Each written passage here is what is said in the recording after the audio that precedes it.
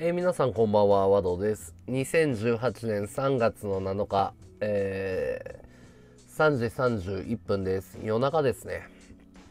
夜中の3時31分です。よろしくお願いします。なんか全体的にね、配信少ないね、夜中の配信者は。はい、ワド2。マイ、マインアーチェイ。なんだろう。なんて読むんだろう。ごめんね。ローマ字読めないんだ、俺ごめん。ま、ま、ま、めいな、ごめん。名前が読めない。ごめん。ごめんなさい、バカで。なんて呼べばいいかわかんないです。アド2。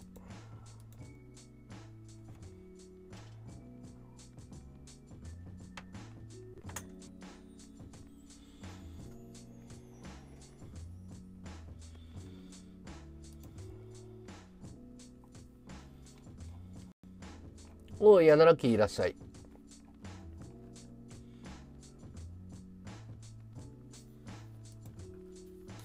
こんばんは。まったりやろうか。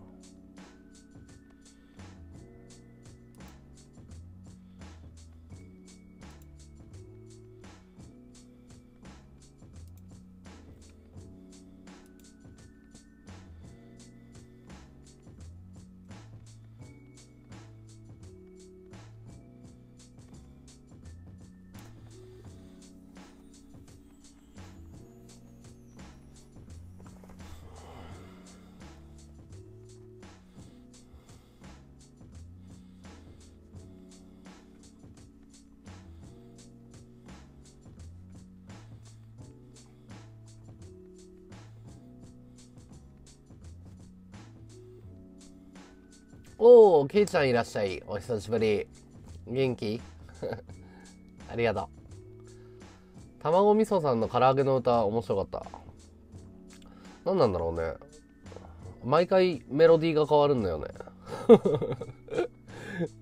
メロディーが一切安定しないからね。う ん眠い。メロディーが毎回変わるんだよ。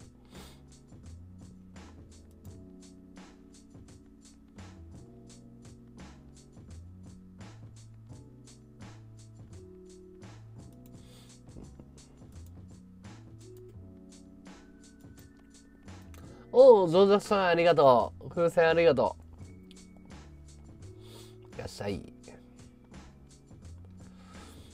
なんか最近睡眠がね、なんか悪夢を見ることが多くなっててさ、何なんだろうな、夢で怖い夢見るっていうのがよくわかんないんだよな。あんまりメンタルの調子良くないのかな。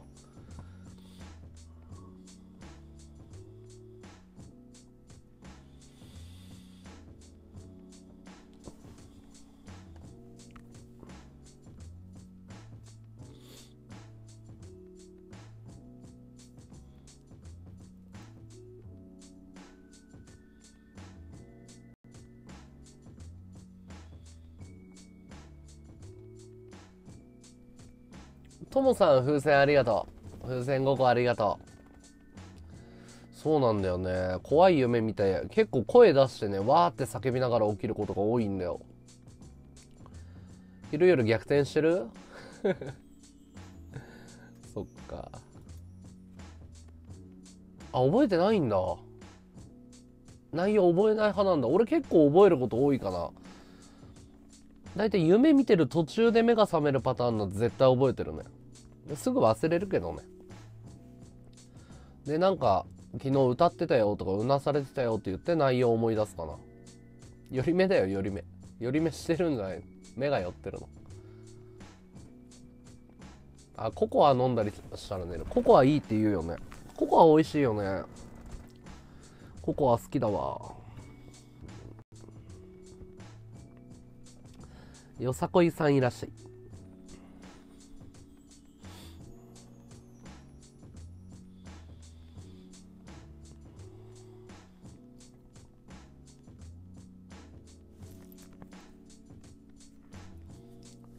甘さ控えめとかあるんだ。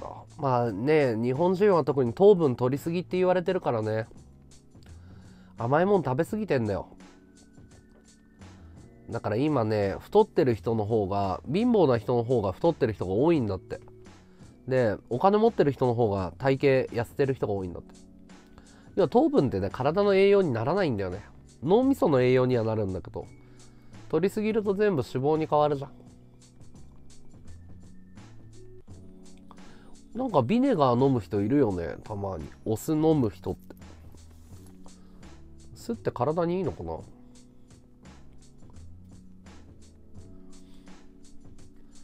ピーナッツ柿ピーばっかり食べてるね。柿ピーが止まらないんだよ。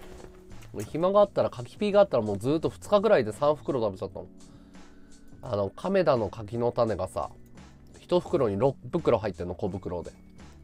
それを3つ買ってきてしばらくこれで大丈夫だと思ってたけどバリバリバリバリ全部食べちゃったよ。柿ピー好きだわこんばんは。敏夫さんいらっしゃい。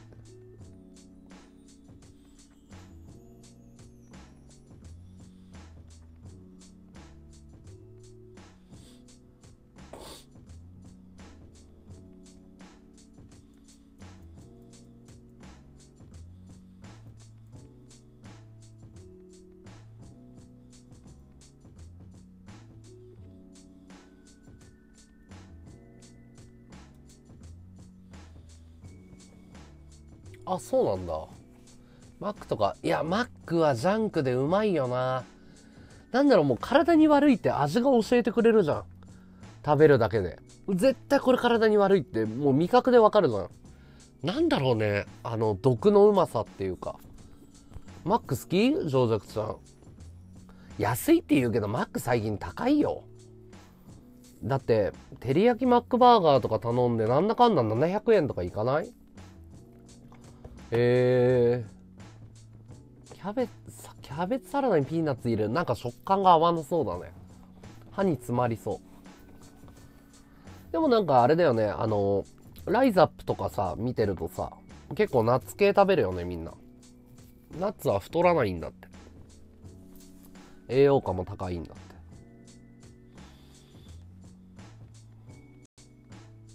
あそうなんだ。へえヤノラッキー結構そういう健康意識高いんだね。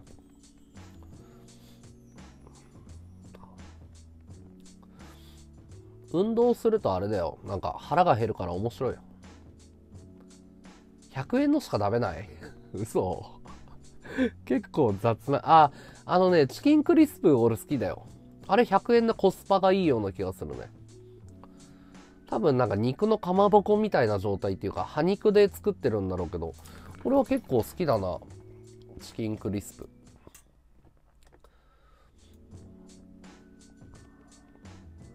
なんかさマクドナルド65円とかそんな時代あったじゃん。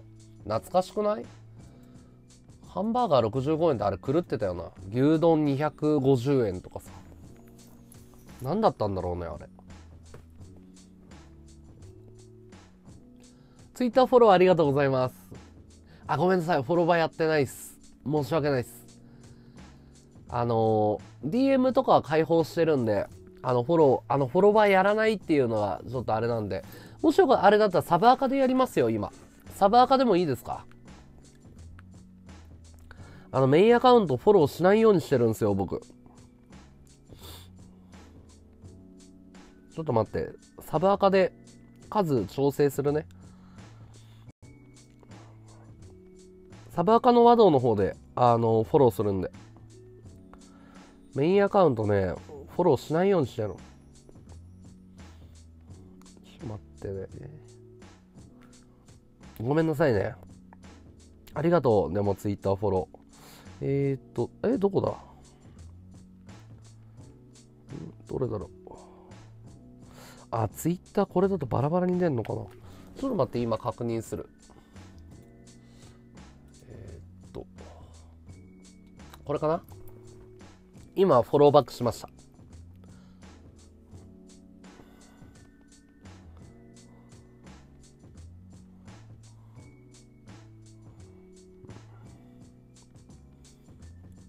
結構バラバラに出るんだな。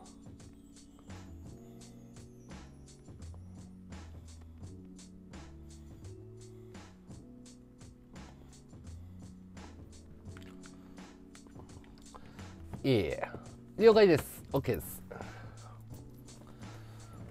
舞茸大好き。舞茸って舞茸ってさなんか昔はさ松茸とかと同じ扱いだったらしいよね。あの高級食材っていうかレアだったんだよね。でなんか偶然養殖に成功して庶民的な食い物になったんだよね。舞茸の天ぷらとかも大あ舞茸の天ぷら食いてえな。のんちゃんの舞茸の天ぷらめちゃめちゃうまいんだよな。うまい。なんだっけ？香り舞茸味しめじだっけ？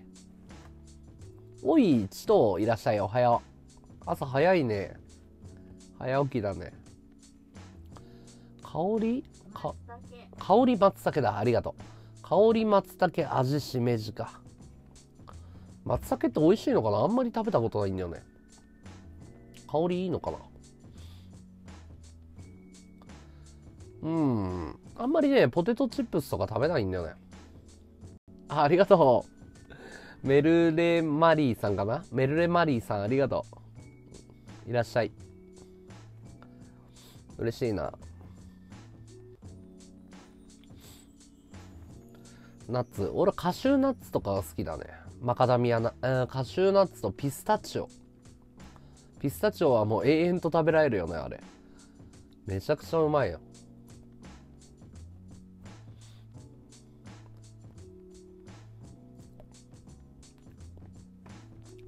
でも人口爆発でさ食べ物とかも取り合いになって高騰してるんでしょ。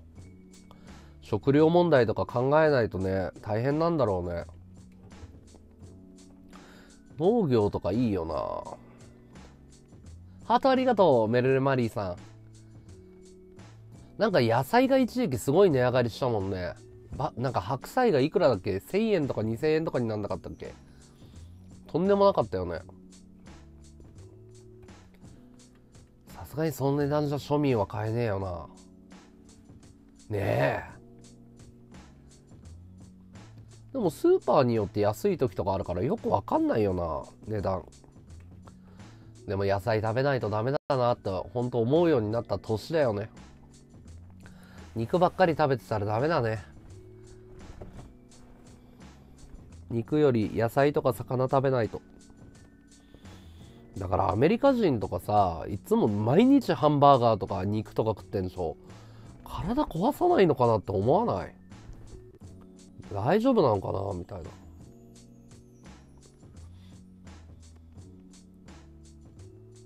あーそっか水資源を使ってるのか。あー日本じゃねなかなか気づかないことだよね。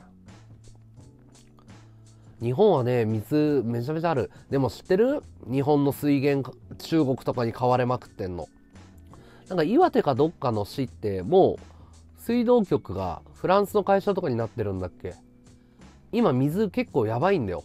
あのね中国が水源の土地を買ったってするじゃん。そしたら政府介入できないの。そこの水はその土地の保有者だからその例えば水全部日本のね水資源全部買われちゃったら俺ら金払って買わないといけないんだよ。そうだよ。水は結構やばいんだよ今。いやー結構大変よ。だから日本の法律でそれ違法じゃないからあの法改正すべきかどうかっていうの結構問題になってるの。あのねその水道民営の動きがある。そうあの麻生さんがやろうとしてんだよね。で水はダメだろうって言って。中国人とか買ってて。でこれから人口爆発が来るから本当にその日本水資源を抑えるその戦いみたいなのが始まってんだって。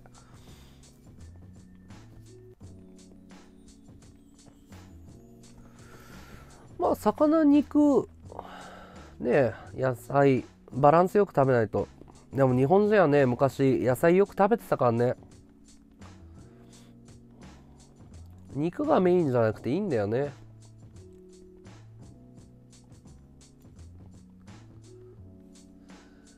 そうそうそうそう。あとねやっぱりね民営化されると良くならないんだって。要はねあのーなんだっけ結構その国とかのインフラってやっぱ安心ができてやっぱ水質とかさそのやるけど利益を出すっていうことはメンテナンスに金かけないとかそういうことじゃん。だからね水道の民営化は結構まずいんじゃないかっていうことで問題になってんだよ。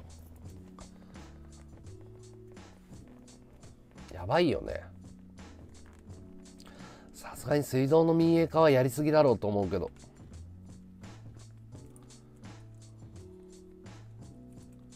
何でもかんでも民営化すりゃいいって問題じゃねえかんな。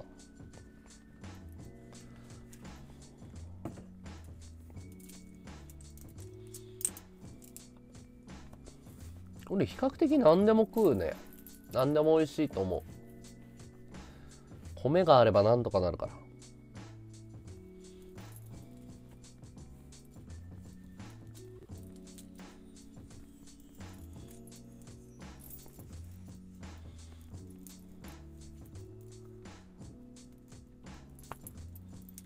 あー。でもほら郵便はさぶっちゃけた話するとさ郵便物はもうこれからなくなっていくものの一つではあるじゃん。手紙とかその年賀状とかさ。配達っていう部分に関してはなくならないとは思うんだけど。水道はダメだろ。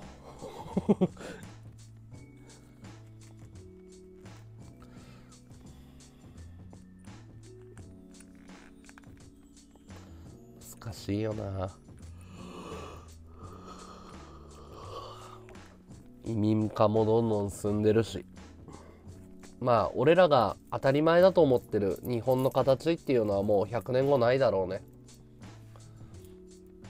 まあ、い良かったのか悪かったのかは分かんないけど。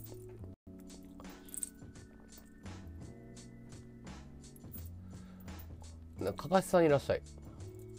あ足臭いすいません。はい。まあ地震は日本に住んでる以上しょうがないからね。もう俺らは代々それを受け入れてやってきた。ただね俺は日本っていう国に対してあの高層ビル建てるのは危ねえと思わない。わかんないよ俺バカだから。でも新宿に住んでるとすごいのよこの辺。日本一のタワマンできたばっかりだしもう本当にとんでもない高さなのこんな細長いのが。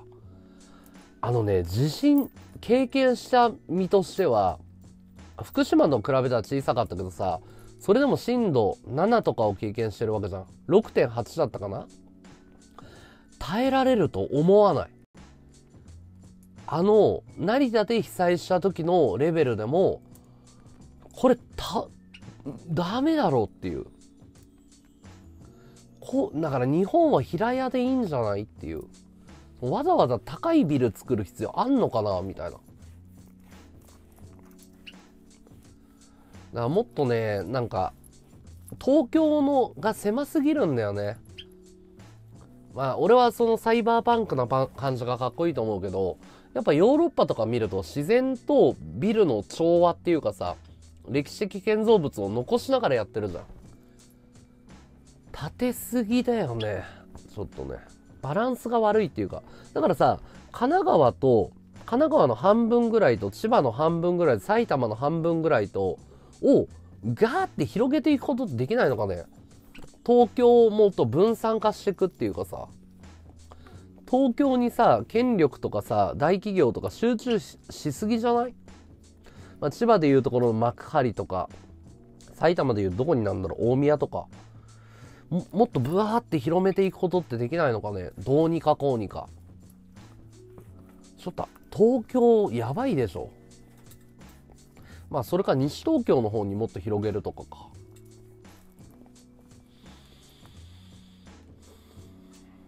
難しいよね。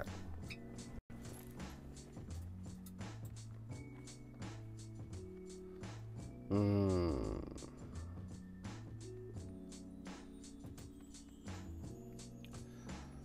なんかと特に地方をさ旅していくと分かるんだけどこんなに東京に集中してる意味ってあるのかなって思わない？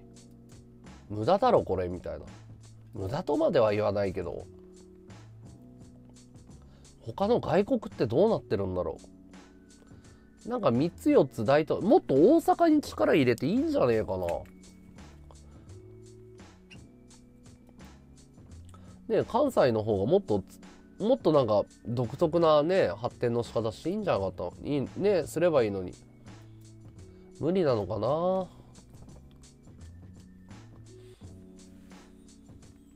いやだってさ東京住んでて特に新宿とかさ住んでたらさあの分かるけどさこんなに狭いわけじゃん。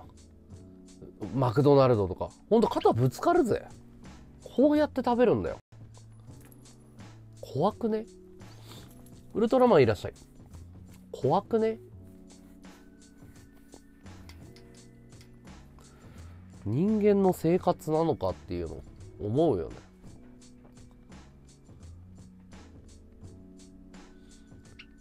11インチサーバーのラックに見える。満員電車とか見てるとこれ人口バランス崩れてねえかって思うよね、まあ、東京だけなんだろうけど。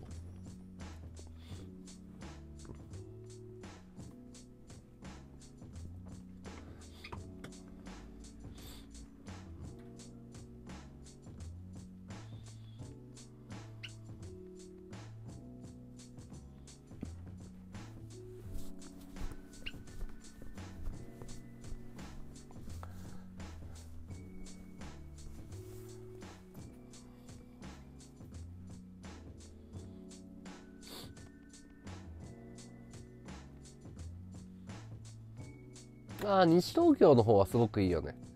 シムシティをやってどうやって街ができるか自分を試してみるといい。リアルも一緒だからそこからだ。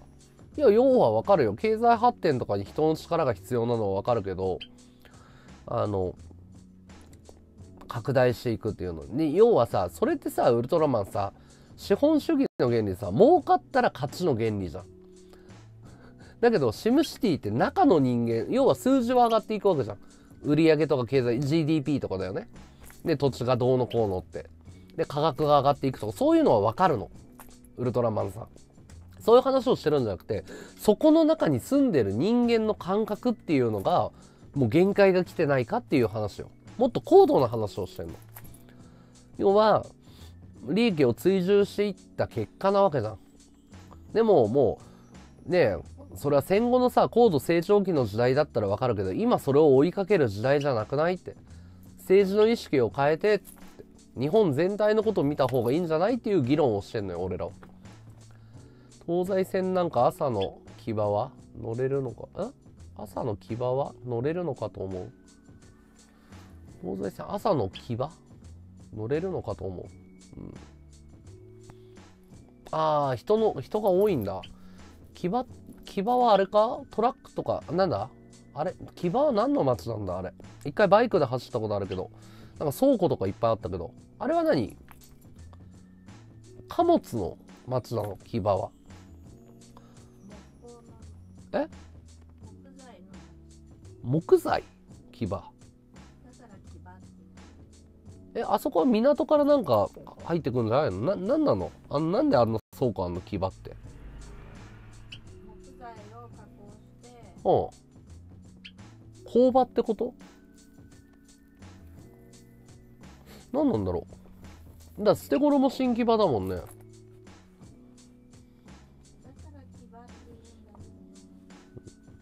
いやウルトラマン「は」じゃなくてどうして東京に人が集まるのかっていう話じゃないのよ。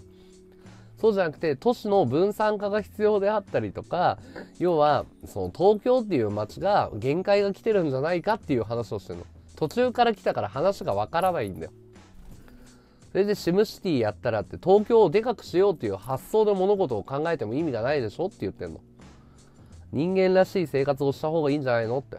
だって別に東京に集まれば集まるほど東京は売り上げ上がりますよ。わかる？だけど日本全体の売り上げが上がるわけじゃないでしょ。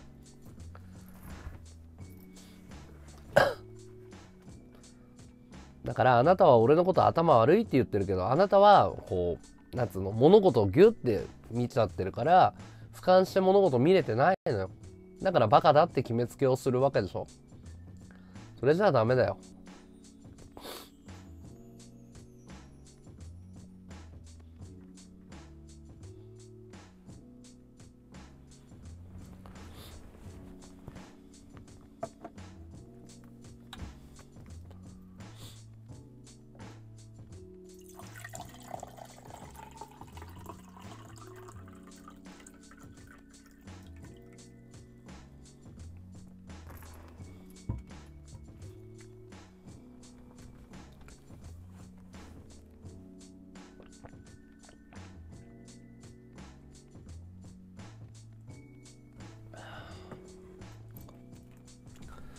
ゲームをやってシムシティをやってたら街づくりを極めたって思う君の方がすごいと思うよ俺は。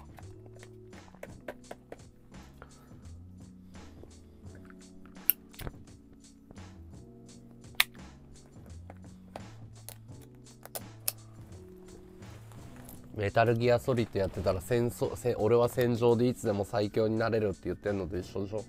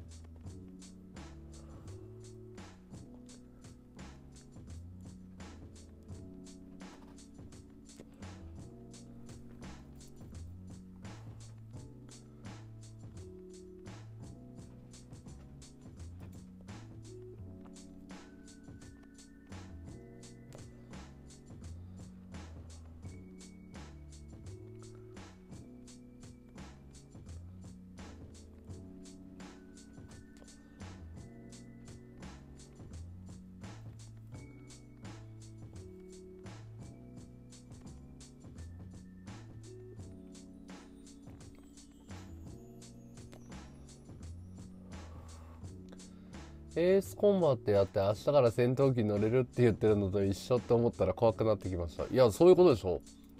シムシティ俺にやれよって。俺はシムシティマスターだって。街づくりなら街づくりなら俺は天才だっていうことでしょ。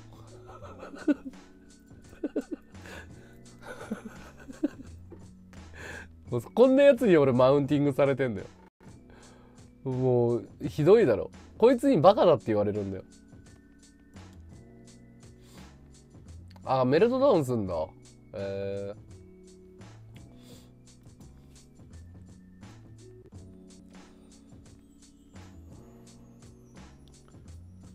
ー、ゲーム脳だよ、ゲーム脳。今、社員30弱いる中小企業してる。している。あまりに低能だったので、つい発言してしまった。じゃあな。じゃあね。はいはい。なぜか30人ぐらいの中小企業をやってるっていう謎のマウンティングをして去っていくってかっこよくない？お、お、お、俺は中、中、中、中小企業でに、に、に、2、30人の社員いるから。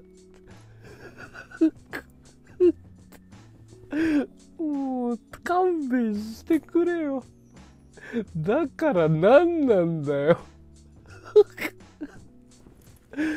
そんな中小企業2、30年やってて、20年前のシムシティを引用してきてバカだなってもう、かもう、もう、ほんと腹痛いでしょ。働けよ。朝4時だよ。うん、ギャラがあってなんだろう。金太郎さんいらっしゃい。ファミコン面白いよね。いや、でって感じだよね あんころいらっしゃい。どっから出てきたのね？社員30人弱いる中小企業してるってな。知らねえよ。知らねえよ。都市の構造の話と何の関係があるんだよ。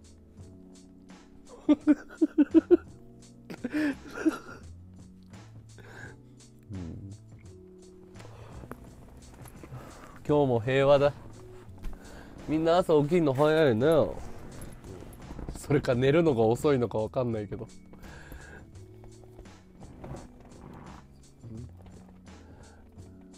いや分かんないね。中小企業がなぜ出てきたのか、いやだから いや自慢なんだろうけど。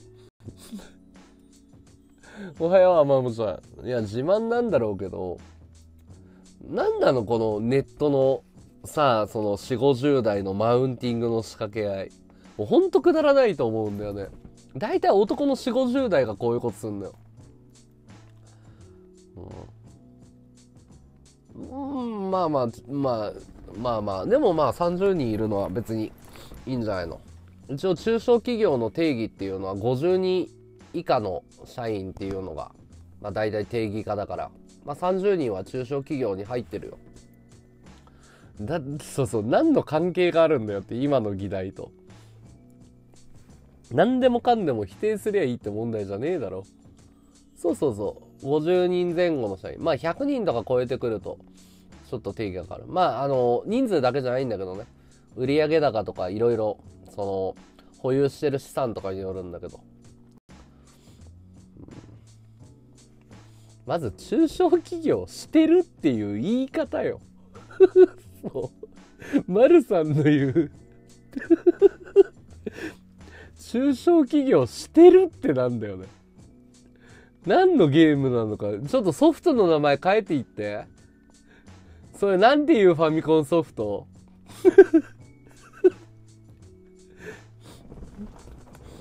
なんだろうね。なんていうゲームソフトの名前なんだろう。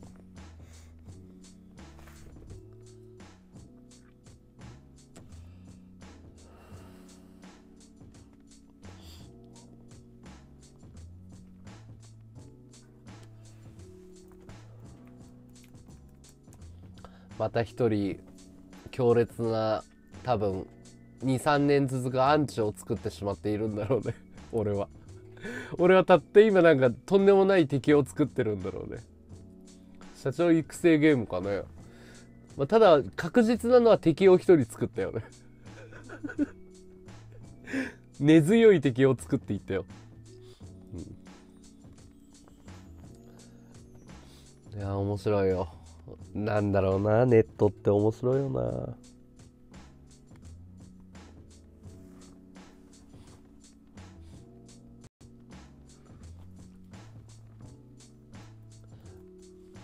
そいつの会社に行って社員に社長どう思うって聞いてみたいよね。生放送回しながら。社長どう思います？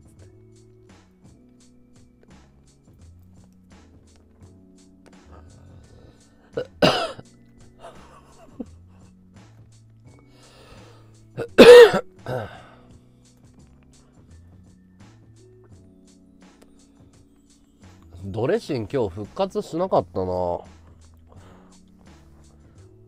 日かな。いや知らんけど。まあ今更だよね。確かにね。気にしてもしょうがないよね。なんだよ俺別に俺からリスナーさんにマウンティング仕掛けることないじゃん。なんかねやられたらやり返したくなる性格なのよ。性格悪いから。これダメな性格だよね。俺こうやって5年間で一人一人アンチを増やしていったんだと思うの。この多分1回の論破で1回の論破っていうか1回のこれが3年間恨みを買い続けることになると思うんだよ。これが悪い癖なんだよね。な、なんかさ、向こうからバカにされるとさ、どんなやつなんか知りたくなるけど、まあ俺よりバカなんだよ、漏れなく。まあできる人間はバカにしてこねえよな。俺もだから安い喧嘩買っちゃうのが良くないんだろうけど。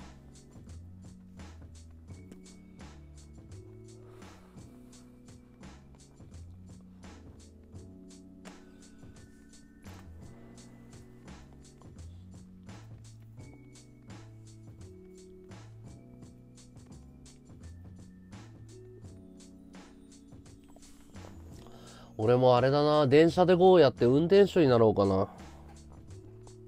それいいと思わない？電車で GO やって JR の運転手目指していい？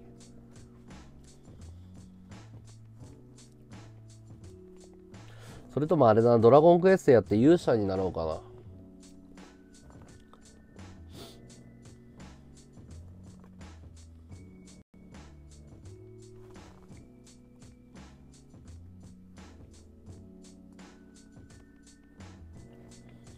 なんかネットであの荒らしてる統計データ取ったら4 5 0代の男性っていうデータが出たんだけど絶対あると思わない。絶対あるよね。4 5 0代の男性のネットの発狂具合ってすごいじゃん。俺ね若い子が意外と悪さしてるっていうイメージね払拭しないと思ってて。あの実際会ったことあるんだけどそんなにだよ最近の2 3 0代って。ネットで変な荒らし方とか絶対しない。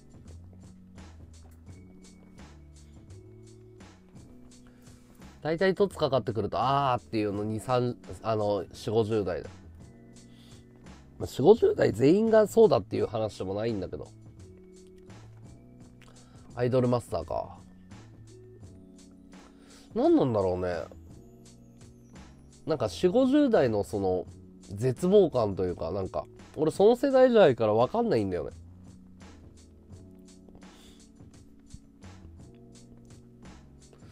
なんで4 5 0代でネットでその荒らす荒らしたら炎上させる人っていうかまあアンチみたいなのが多いかっていうと文字ベースのやり取りに慣れてるんだって、うん、要は2チャンネラーとかもその年代なのよ。要は昔だから3 4 0代だった人だよね。要はネットで文字ベースでマウンティングし合ってた世代なの。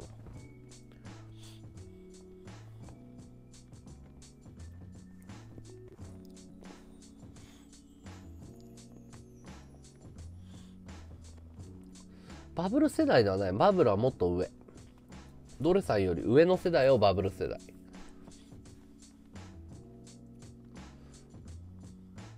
ねえそうそうそ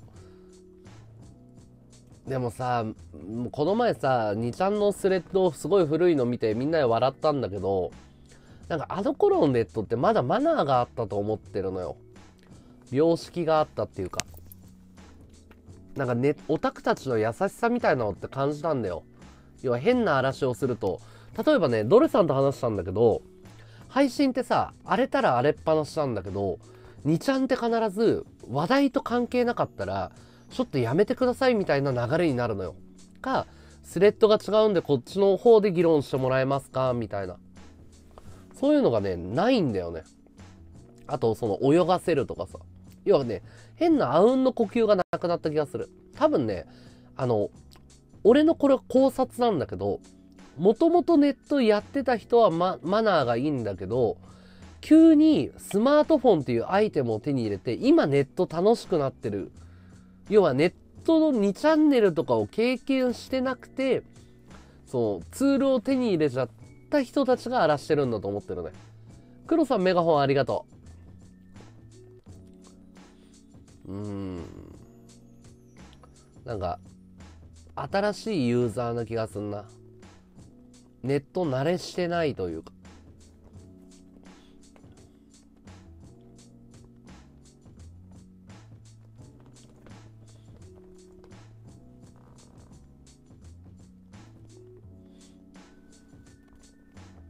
アイドルマスターって面白いのかな？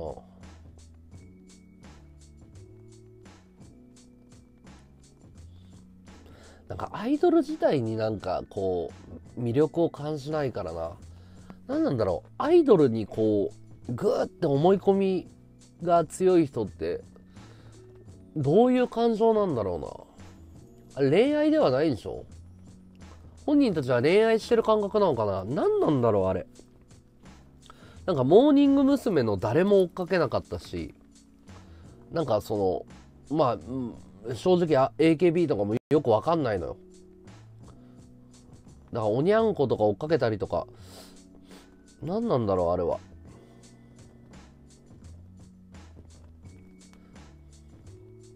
スティッカム時代から配信見てるすげえな長子さん。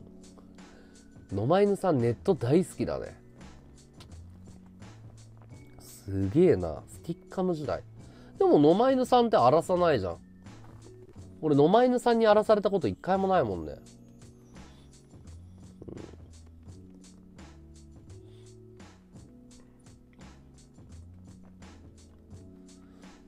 スティッカムえあの頃のうなちゃんマンとか知ってるの？じゃあ。スティッカムっていうのはねニコニコ生放送がまあネット生放送の黄金時代を築く前があって実は。ヤフーチャットとかスティッカムっていう。いやうなちゃんマンがさあの警察にこうカニ踊りしてるネタになるって知ってる？あれはスティッカムの頃の映像なんだけど。要は配信サイトの立ち上がった頃の時期だよねスティッカムって。要はネットで生放要はねあのなんていうのかな。もともとインターネットラジオから来てんの。音声だけのやり取り。音声にコメント書くっていうツールから映像がついたのがスティッカムぐらいだよね。でその今でいうところのコマ送りみたいなプツプツっていうかカクカクってちょっとスティッカムっぽくやってみようか。映像やってみようかスティッカムっぽく。えー、っとねイメージね。再現 VTR 作りますよ。と待ってね。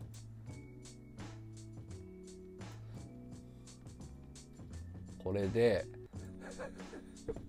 これにみんな行くよ。ちょっと待って。多分だよ。俺の予想だからね。こういうことでしょ。これがスティックいやもっとだろうな多分。もっとだろうな。これがスティッカムクオリティでしょ。これでしょ？の前のあるさこれが多分スティッカムクオリティだと思うの。こういう時代があったんだよ。多分ねこんな感じだと思う。これがこれが最先端だったの。これが。多分。俺は知らないんだけど疑似的に今作ってんだけど。こんな感じでしょ？の前のさ。んカクカク画像ザラザラ。これでも新しいね。これでやる？ADSL だろうね多分ね。うん。電波悪いふわっちだよ。そう。これでもうそのみんながすげえ映像ついてるっていう時代があったんだよ。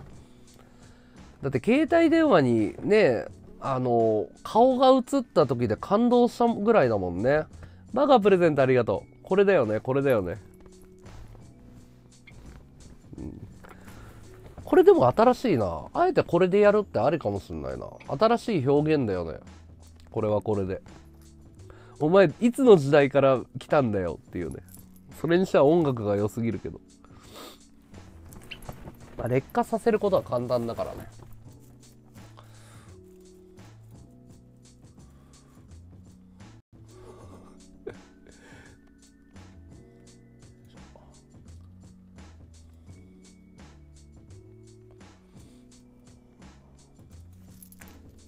元に戻します。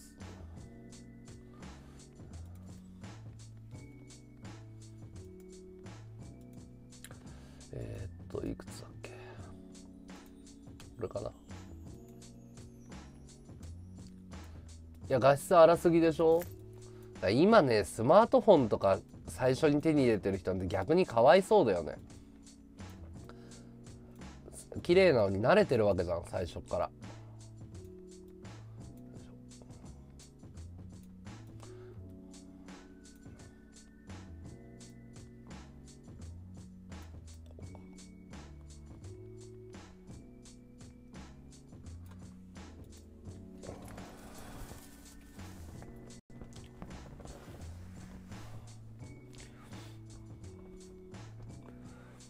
アイコラとか流行ったもんね。今、アイコラっていう概念あんのかな？アイコラって聞いても何言ってるか分かんない。アイコラってな、何から来てんだろう？語源って。コラがコラージュなのは分かるんだけど、アイコラのアイってなんだろ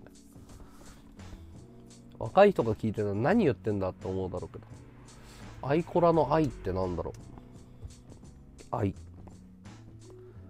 愛愛アイコラの愛アイドルコラージュか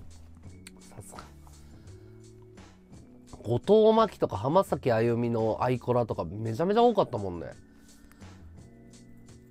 ナッチとかさ。矢田亜希子とか。浜崎あゆみのアイコラとか出回りまくってたもんな。あれ画質が荒かったからできんだよね。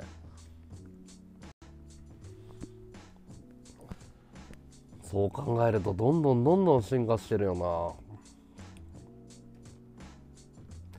俺あとネットですげえ思うことがあって上り回線ってほとんど使わないじゃん。ネットって。下り回線の方が需要あるじゃん。俺の予想なんだけど多分上りと下りって同じぐらいの感覚で調整してるでしょ。あれってもっと一般のスマホはさ下り8割上り2割ぐらいのバランスでネット回線バランス取れねえのかなとか思わない？俺らはさあの配信者だから上り回線バンバン使うけど上り回線使うやつなんかいないでしょ？今。マイニングとかは使うんだろうけど。下りがメインだよねやっぱり。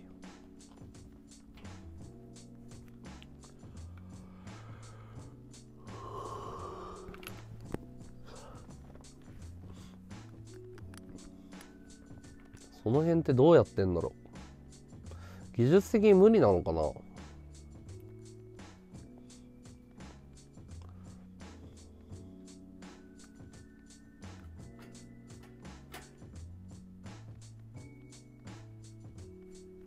なんか上り回線が空いてる気がするんだよ。あ俺の勝手な思い込みかもしんないけど。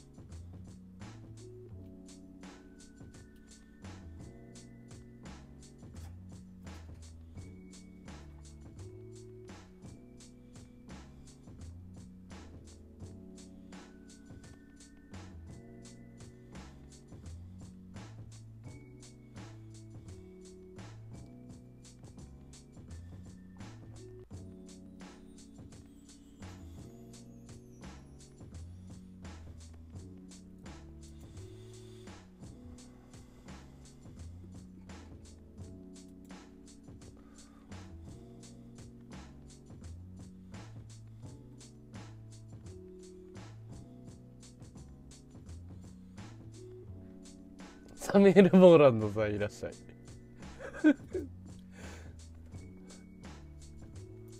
バカありがとう。なんで徹底してメガホンなんだよほんと腹立つな。えー、呼んでねえわ。サミュエル・モーランドさんメガホンありがとうございます。呼んでない。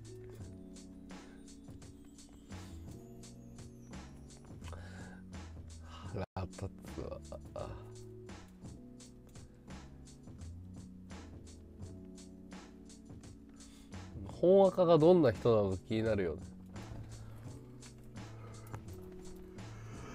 はい寝ようかな。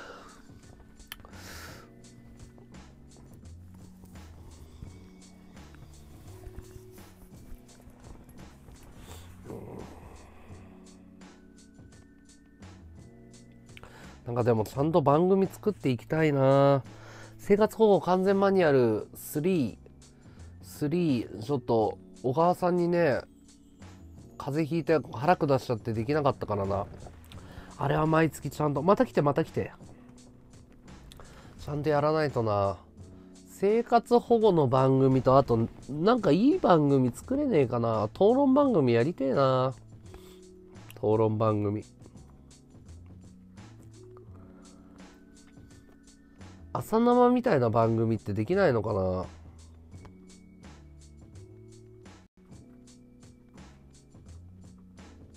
おはよう。知らんけどありがとう。風船10個ありがとう。おはよう。うん？何何？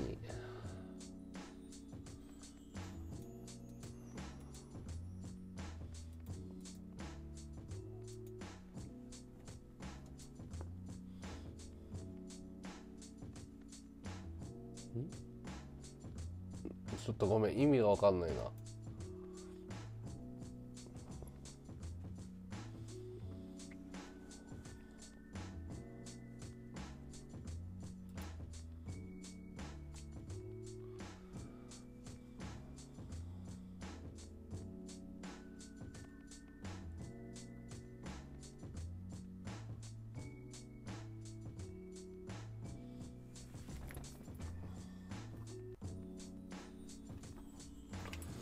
朝生面白いよね。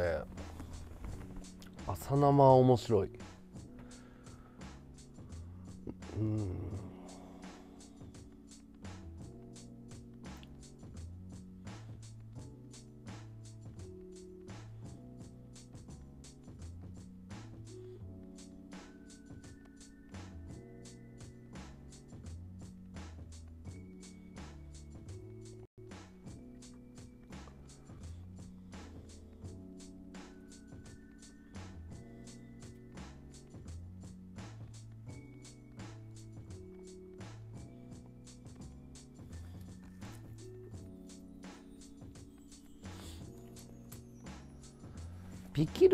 ピキるって大事だよね。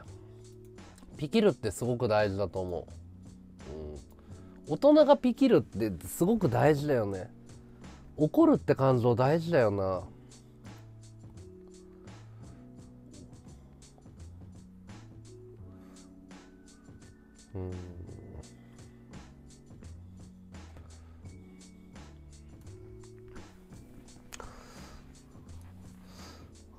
朝生一回出てみてよな。いや大事大事。討論番組なんで討論あんまりないんだろう。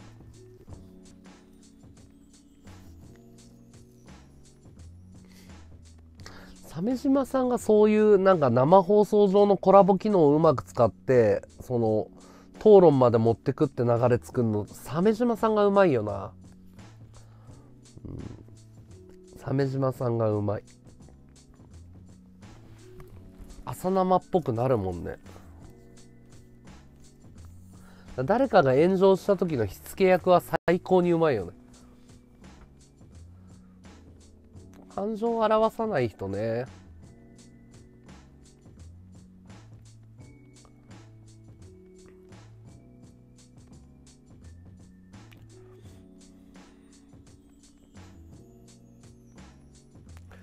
でも普通のトークの対談になっちゃってるかな。どうやったら生活保護完全マニュアル面白くなるんだろう。なんかね生活保護反対派の人とかいるじゃん。ネットネトウヨみたいな。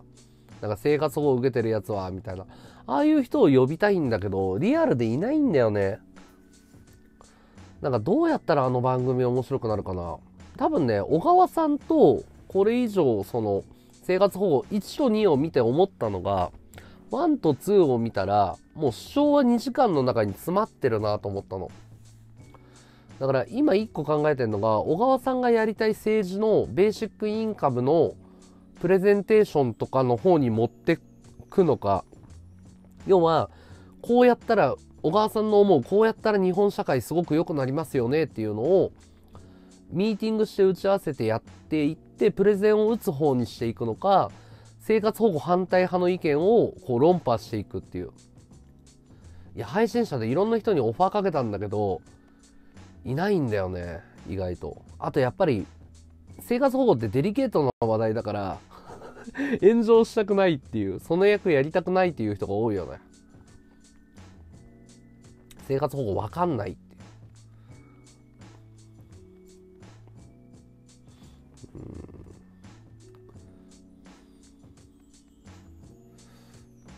あの番組自体は価値があると思ってるから再生数も伸び続けててえっ、ー、と今年の1月にやった番組なのにもう4000再生されてんのかな？だか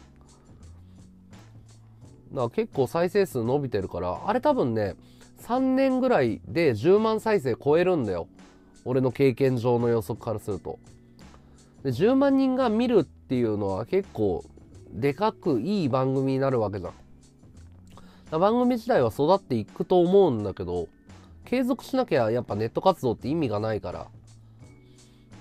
だけど今のそのなんつうのコメントを読んでももう質問がループになってるからこの構成じゃダメだと思ってるのね。もっともっと作り込めると思ってるね生活保護完全マニュアルは。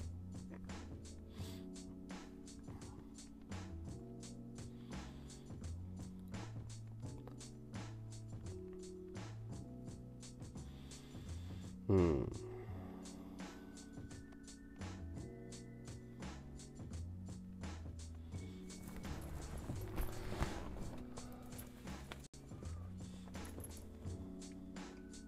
ちょっと小川さんと話しながらいろいろ考えてみよう今度。番組どうしとくの。か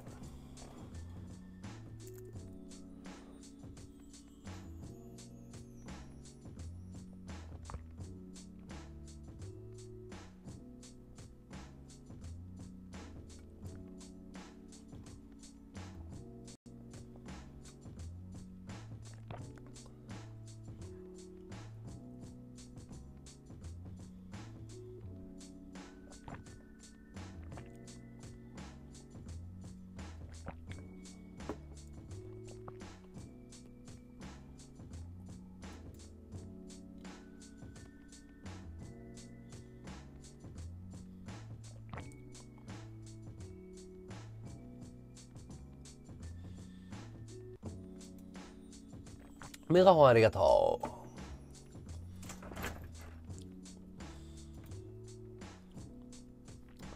YouTube でね生活保護って検索するともう小川さんが結構上の方に来るからね。多分ね小川さんね生活保護の YouTuber として多分第一人者になっていくと思うんだよ今後。数年後に。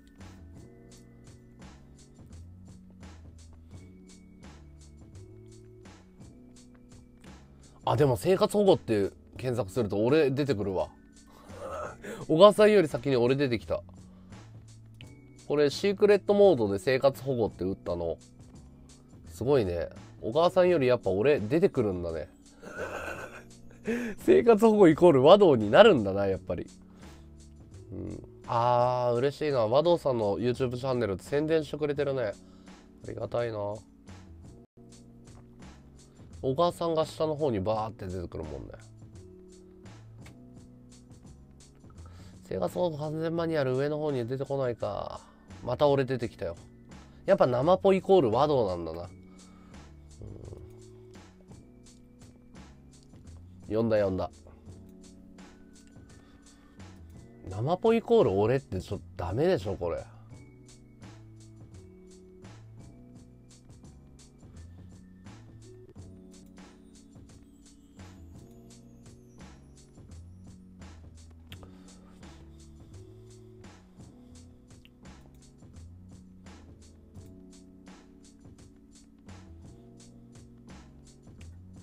じゃあそろそろ寝るわ俺。みんなありがとね。また休んで放送やるんで楽しみに見に来てください。ありがとうございました。フォローよろしくお願いします。お疲れ様です。